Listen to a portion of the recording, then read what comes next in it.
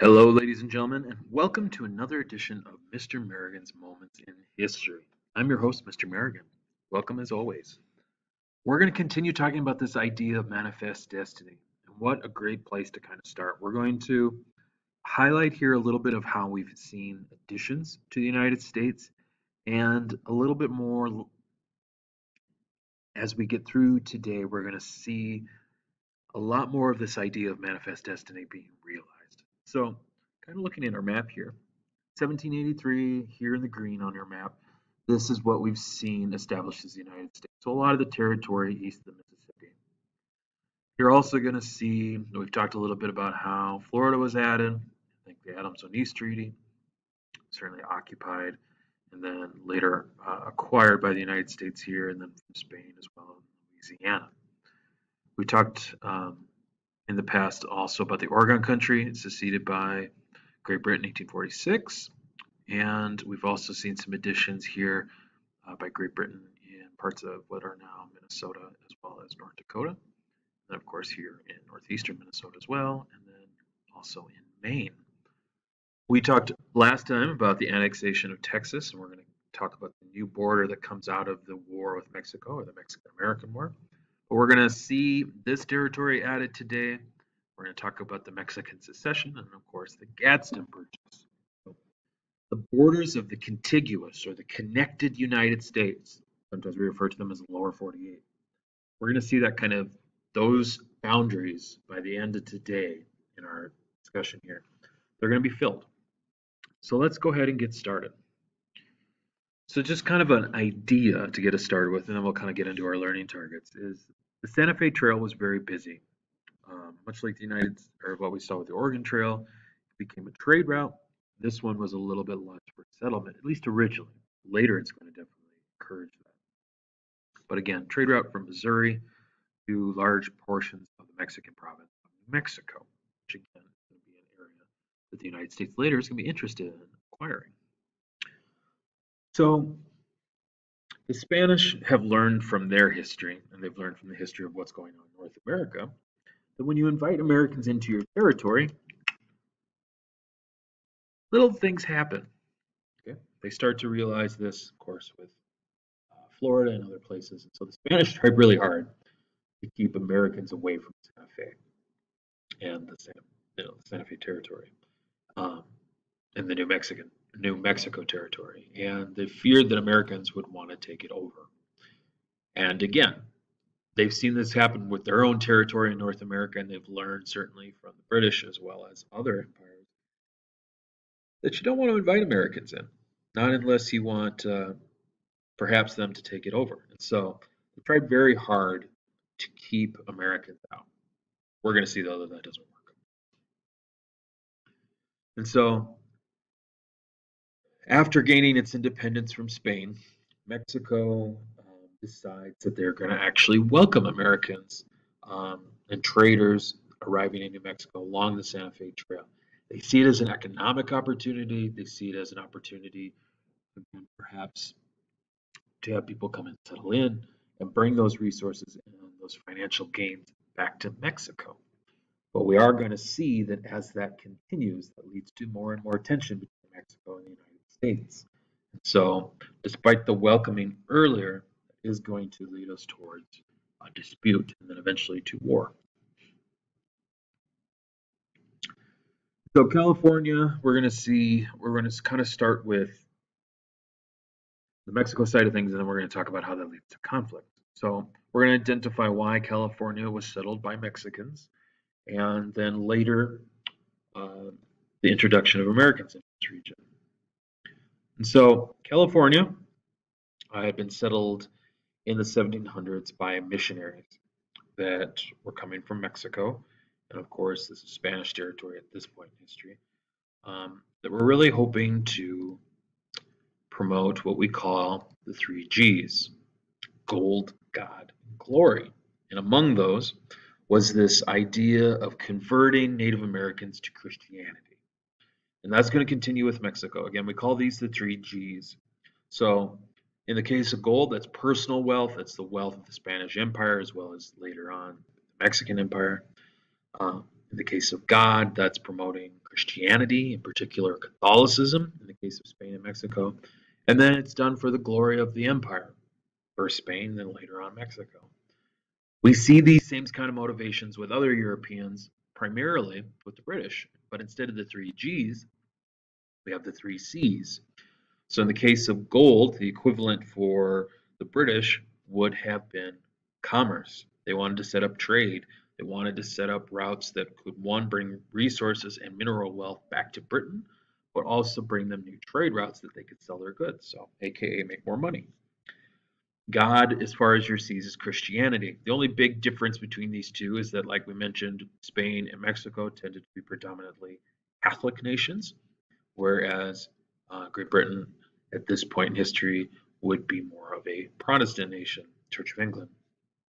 And then your glory equivalent for your C's would have been civilization. The British really believed that they had this great idea about how the world should be run, and they wanted to spread their ideas and their way of doing things. Now, in the case of both the Spanish and certainly British, we see that influence in a variety of different countries even today. So we know that it was in some ways. So, establishing this culture in 1821, uh, California actually became a state in this newly independent Mexico. And so Mexicans settled here, um, really this great land opportunity. Mexico is a newly independent nation and they set up these huge estates that are called ranchos, and they're owned by people called rancheros. These are Mexican ranch owners. Like we've seen with the United States, like we've seen with this expansion west, that's a big thing that attracts people to California and what has attracted people west in general is this idea of there's more land to be owned. There's greater opportunity. You don't necessarily have to have the same level of wealth that you would uh, say in southern Mexico or even in the southern United States or the northern United States. It was a good new economic opportunity for people. And in particular, you've got John C. Fremont, um, who praises this idea of what California could be. He praises its great mild climate. If you've ever been to California, you know exactly what I'm talking about um, ranges from marine west coast to even a Mediterranean-like climate as you get into Southern California. And there's an abundance of natural resources that are going to start to attract a variety of different people, including Americans. And ha! Remember that idea of manifest destiny when we said the whole continent should be ours? Maybe California should be a part of that. And so this kept planting the seed of making California a part of the United States. So you can already see where this is heading. This is certainly heading towards conflict. But we'll get there. So we're going to be able to explain how war broke out here. So we've got the seed planted between the United States and Mexico um, that this territory could be very valuable economically, but also for a place for people to live. And so disagreements start, certainly start to pop out. And one of those disagreements is over New Mexico, of course, California and this new border with Texas. Where is it? And of course, Americans are going to claim that it's further west, and Mexico is going to claim that it's further east. And so that strains the relationships between the United States and Mexico to the point where war breaks out. And the idea here, again, fueled by this idea of manifest destiny, is that yeah, this this should be ours, and um, God is destined. So we're going to see that war is going to commence. Mexican soldiers are going to attack the American forces who have crossed the disputed border, and it's going to lead to a conflict over the territory. So, war begins, and much like we saw in the Texas War of Independence, this is not going to be an easy victory for the United States, um, although the big difference between these two is that those were Texans fighting against the uh, Mexican government, and now you've got the U.S. government uh, fighting against the Mexican government. So it's going to be certainly a bigger scale war.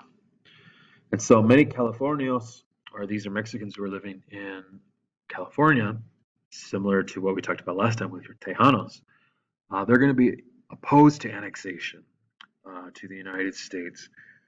But by the time we get to 1874, California was going to be fully controlled by the United States. And so you're certainly going to see that um, a large scale success of the United States kind of moving forward from here. And probably the feather in the cap here is when General Winfield Scott marches south and he's able to capture Mexico City, which is the capital of Mexico. And soon uh, the Mexican government pretty much has no choice to surrender. The big question coming out of that surrender is what is Mexico going to have to give up? And what are the terms of this going to be? And those terms are laid out in the treaty, which is the Treaty of Guadalupe, Guadalupe Hidalgo. And Mexico is going to have to give up a lot. They've already given up part of Texas, but they're going to have to give up more of Texas now. And they're going to agree that the Rio Grande, or the Rio Grande, um, is going to serve as the new border between Mexico. For the most part, uh, that's still the border today. And then you're going to have the Mexican cession.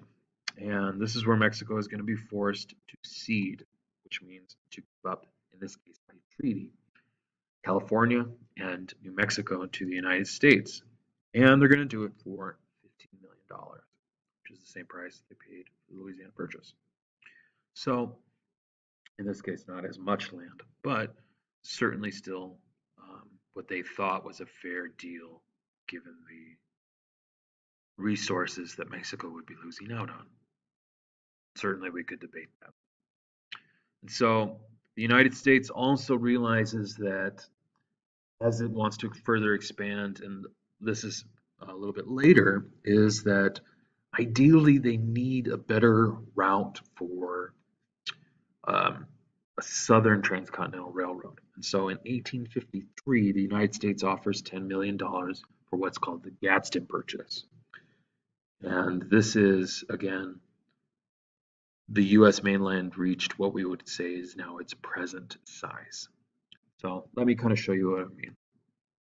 So we've seen now, okay, the addition, of course, of Texas, but now we've got that new border, the Rio Grande River, the Rio Grande. Okay? Um, and we also mentioned here the cession of Mexico. So this territory is now part of the United States.